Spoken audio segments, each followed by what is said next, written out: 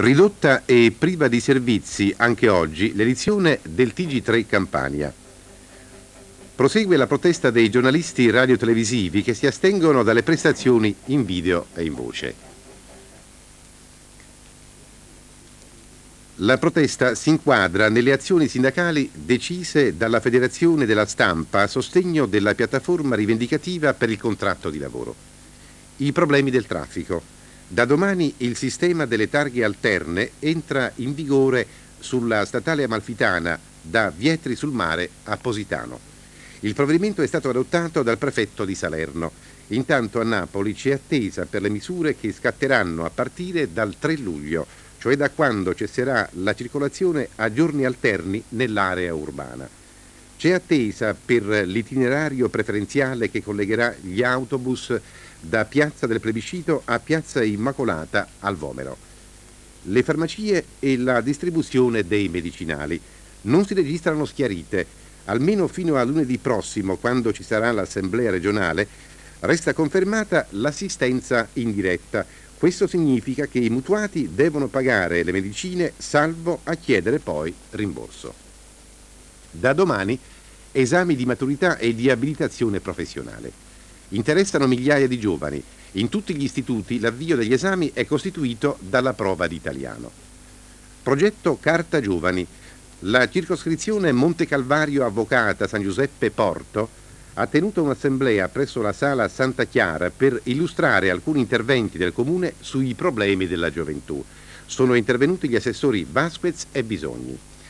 Nella sala della giunta a Palazzo San Giacomo il vice sindaco Giulio Di Donato ha tenuto una conferenza stampa per illustrare gli studi CESAN sulle aree industriali di Napoli. È necessario allargare sempre più il ricorso al Confidi come strumento indispensabile per garantire l'accesso al credito a tassi ben più, ridotto, ben più ridotti rispetto a quelli di mercato. Questa esigenza è stata sostenuta all'Assemblea del Consorzio Garanzia Collettiva FIDI, presieduta dal presidente regionale dei piccoli e medi industriali Renato D'Andria. Era presente il presidente del collegio sindacale Francesco Serao. Mezzogiorno sinistra, quale alternativa possibile? Questo il tema di un convegno svoltosi al Circolo della Stampa in Villa Comunale su iniziativa del Centro regionale per l'alternativa. Il centro si è costituito allo scopo di favorire il dibattito tra le forze della sinistra in Campania e per stimolarne la capacità di rispondere alle esigenze di trasformazione del Mezzogiorno.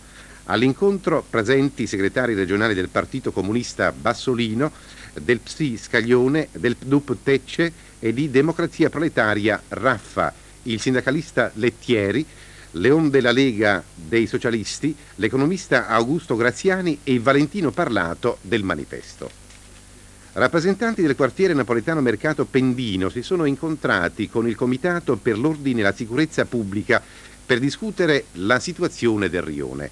Mercato Pendino presenta infatti inconvenienti caratteristici sia della periferia che dei centri storici, traffico caotico per la chiusura di numerose strade per la concentrazione di esercizi commerciali, diffusione della droga, soprattutto fra i giovani, problemi di criminalità minorile. Gli interventi delle forze dell'ordine vengono spesso impediti e rallentati proprio dalle condizioni del traffico. Vista la gravità della situazione si è deciso di tenere ulteriori incontri. Benvenuti a Napoli, la serie di iniziative di promozione turistica elaborate dal Comune verranno presentate domani sera alle 21.30 a Castel dell'Ovo. Alla manifestazione parteciperanno il sindaco Valenzi e l'assessore Bisogni. Dalle lotte dei giovani a Napoli per il lavoro, quale sindacato per gli anni Ottanta. Domani mattina si terrà su questo tema, nell'antisala dei Baroni al Maschio Angioino, un incontro dibattito.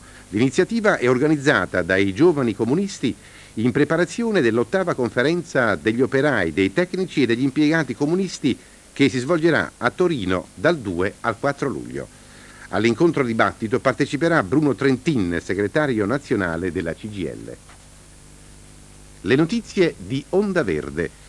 Come abbiamo già detto, sulla strada statale 163 della costiera malfitana tra Vietri sul mare e Positano, compresi i centri abitati, da domani al 31 luglio si circolerà a targhe alterne.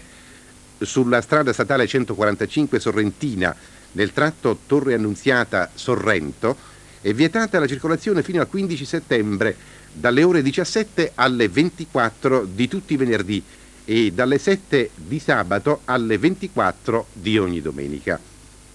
Il divieto riguarda gli autoveicoli commerciali in entrata o in uscita dal porto e dalla zona industriale di Castellammare di Stabia, con qualsiasi provenienza o destinazione, all'esclusione della zona sorrentina.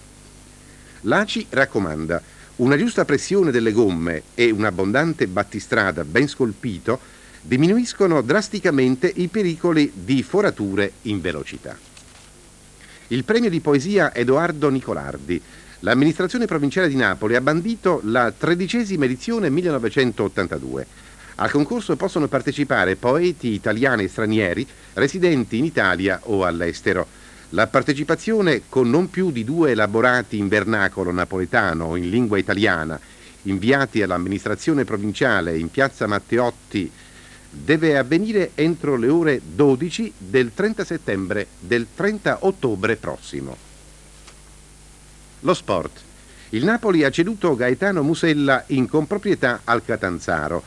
L'accordo fra le due società è completo, manca soltanto il consenso del giocatore che sembra comunque intenzionato ad accettare il trasferimento se verranno soddisfatte dal club calabrese le sue richieste economiche in materia di ingaggio.